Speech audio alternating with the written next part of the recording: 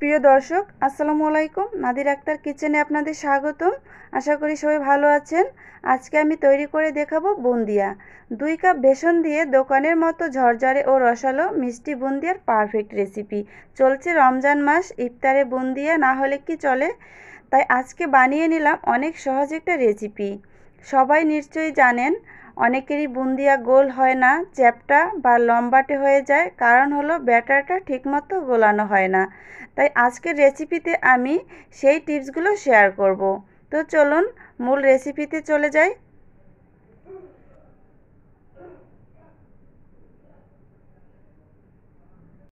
এখানে একটি বাটি নিয়েছি আর একটি চালনি নিয়ে নিব। এখন লাগবে আমার দুই কাপ বেসন। বেসনটাকে অবশ্যই চেলে নিতে হবে। এতে করে বেসনের উপরে যে দলাগুলি থাকে, সেগুলি ভেঙে যায় আর এর ব্যাটারটাও পারফেক্টভাবে তৈরি করা যায়। তো সবগুলি বেসন আমি এভাবে চেলে নিব। এভাবে চেলে নিলে সুন্দরভাবে বুন্দিয়াটা তৈরি করা যাবে আর ব্যাটারটাও পারফেক্ট হবে। তো সবগুলি আমি চেলে নিয়েছি, এখন ব্যাটারটা তৈরি করে নেব।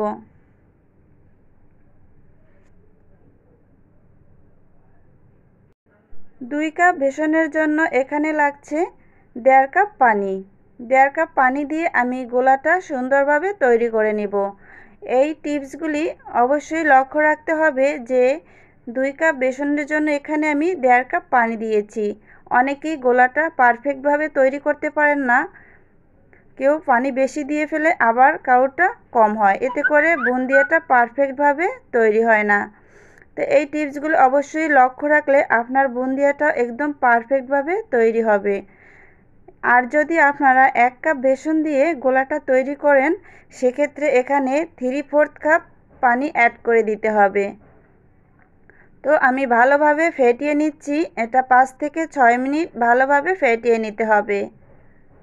গোলাটা যত ভালোভাবে ফেটিয়ে নেবেন, আপনার বুন্দিয়াটা তত ফুলকো হবে। এক্ষেত্রে কিন্তু আমার গোলাটা তৈরি হয়ে গিয়েছে। আর এভাবে যখন গোলাটা উপর থেকে ফোটা আকারে পড়বে, তখন মনে করতে হবে যে ব্যাটারটা বুন্দিয়ার জন্য পারফেক্টভাবে তৈরি হয়েছে। এখন এখান থেকে এক কাপ ব্যাটার আমি একটি বাটিতে আলাদা করে নিব। আমরা দোকানে বুন্দিয়া কিনতে গেলে দেখতে পাই যে লাল কালারের বুন্দিয়া মিশানো থাকে। এটা দেখতে খুবই সুন্দর লাগে।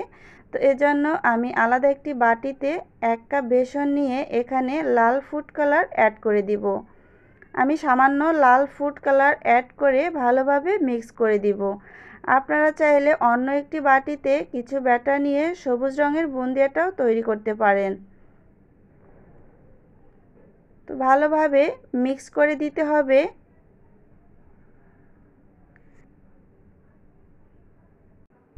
কালারটা খুব ভালোভাবে আমি মিক্স করে নিয়েছি, দেখতেই পাচ্ছেন। আর সব বুন্দিয়ার ব্যাটারের ঘনত্বটা একই রকম হবে। তো এখন আমি চুলার কাছে চলে যাব বুন্দিয়াটা তৈরি করার জন্য।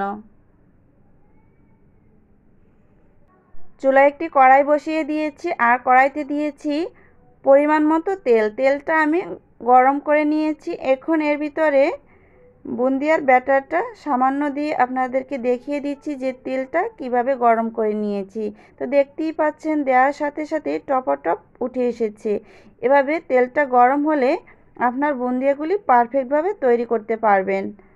তো এখন এখানে একটি আমি ঝাঁঝরা চামচ নিয়েছি আর এই চামচ দিয়ে বুন্দিয়াগুলি তৈরি করতে হবে। এখন উপর থেকে আমি ব্যাটারটা দিয়ে দিব। আর চামচটা বেশি উপরেও ধরতে হবে না, বেশি নিচেও ধরতে হবে না। মাঝামাঝি ধরে বুন্দিয়াগুলি তৈরি করতে হবে। আর চামচটা কোনোভাবে ঝাঁকাঝাঁকি বা চাপাচাপি করবেন না।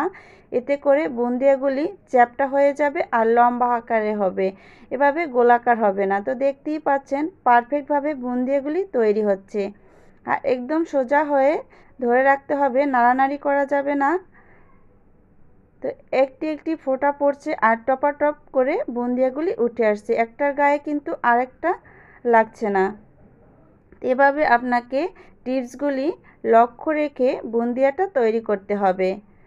তো যখন এভাবে সবগুলি ব্যাটার পড়ে যাবে তখন আমি চামচটা সরিয়ে নিব। সরিয়ে বুন্দিয়াটা ভেজে নিব। তো বেশি সময় বাজার কোনো দরকারই নেই। এটা পারফেক্টভাবে ভাজা হয়ে গিয়েছে। দেখতেই পাচ্ছেন, এখন আমি বুন্দিয়াগুলি উঠিয়ে নিব। তো বুন্দিয়া তৈরি করতে গেলে আপনাকে মাথায় অবশ্যই এই টিপসগুলি রাখতে হবে। এভাবে আমি সব বুন্দিয়া উঠিয়ে নিয়েছি, আর দেখুন কতটা পারফেক্টভাবে তৈরি হয়েছে বুন্দিয়াগুলি, কিন্তু সব গোলাকার হয়েছে। এখন একটি বাটিতে আমি নিয়ে নিচ্ছি।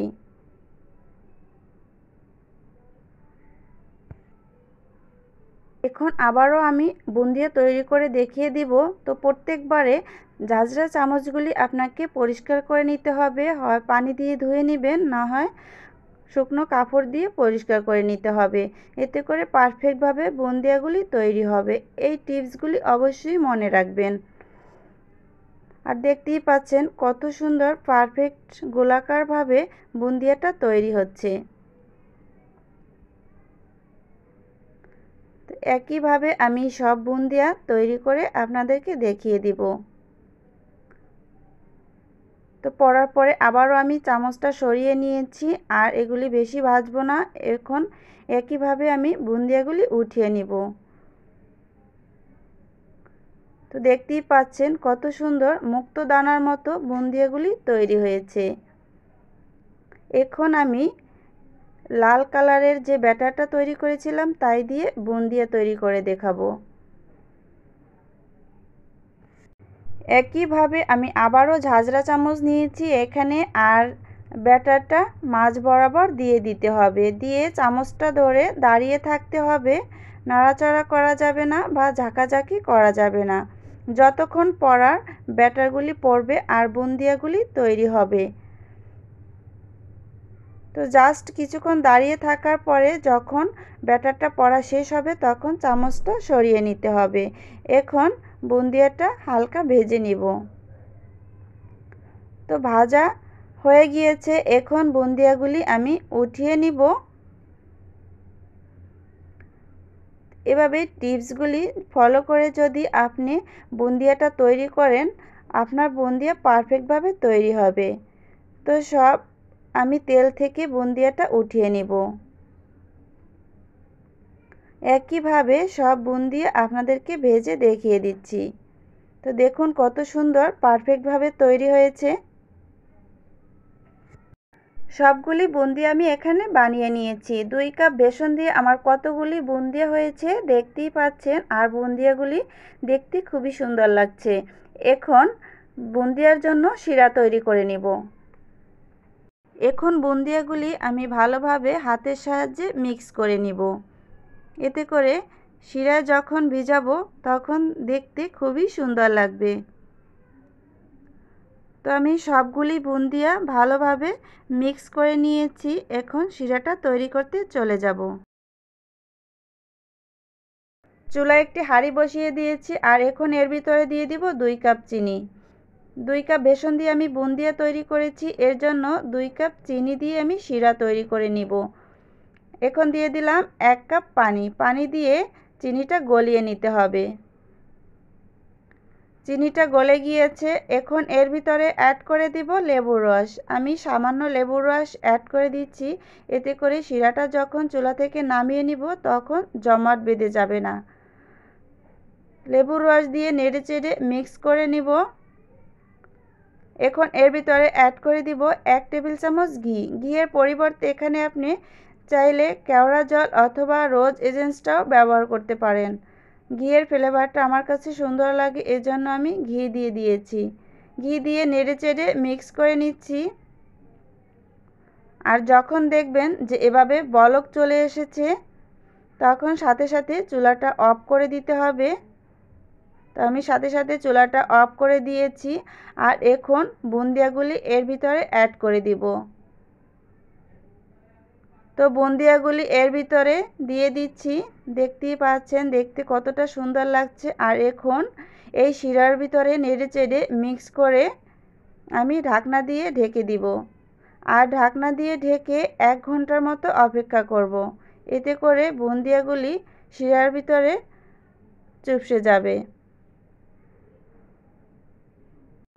এক ঘণ্টা পরে আমি ঢাকনাটা খুলে নিচ্ছি আর দেখতেই পাচ্ছেন বুন্দিয়াগুলি রসে টুপু টুপু হয়ে গিয়েছে। তো নেড়ে চেড়ে চামচ দিয়ে আবারও মিক্স করে নিচ্ছি আর এর মাঝে আমি দুই একবার চামচ দিয়ে নেড়ে চেড়ে মিক্স করে দিয়েছি। আমি হাত দিয়ে দেখিয়ে দিচ্ছি এর ভিতরে রসটা কত সুন্দরভাবে চপ করে নিয়েছে। তো পারফেক্টভাবে তৈরি হয়ে গেছে বুন্দিয়া। দুই কাপ বেসন দিয়ে খুব সহজেই এভাবে ঘরে বসে তৈরি করতে পারবেন পারফেক্ট রসালো বুন্দিয়া। আশা করি আজকের আমার এই রেসিপিটি ফলো করে আপনারা খুব সহজেই তৈরি করতে পারবেন। যারা কখনো বুন্দিয়া বানাননি প্রথম, তারাও পারফেক্টভাবে তৈরি করতে পারবেন এই রসালো মিষ্টি বুন্দিয়া। তো আশা করি আপনাদের কাছে খুবই ভালো লেগেছে। ভিডিওটি ভালো লাগলে অবশ্যই আমার চ্যানেলটি সাবস্ক্রাইব করে নিয়মিত আমার চ্যানেলের পাশে থাকবেন। আজ এ পর্যন্তই। সবাই ভালো থাকবেন, সুস্থ থাকবেন। আল্লাহ হাফিজ।